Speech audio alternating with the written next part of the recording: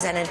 I think First Lady Michelle, Melania Trump and her staff did an amazing job. Her team did an amazing job here this year, following the tradition of other First Ladies. She picked um, four pastel colors and a golden egg.